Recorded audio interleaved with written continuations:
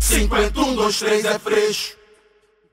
Alô, gente, você que é da Tijuca, amanhã, sexta-feira, dia 12, estarei em frente à Universidade Veiga de Almeida, entregando o nosso material e conversando com todos os eleitores. Se quiser ajudar, aparecer lá para pegar o material e conversar com a gente, tá mais do que convidado. Sexta-feira, dia 12, meio-dia, em frente à Veiga de Almeida. 51, é fresco.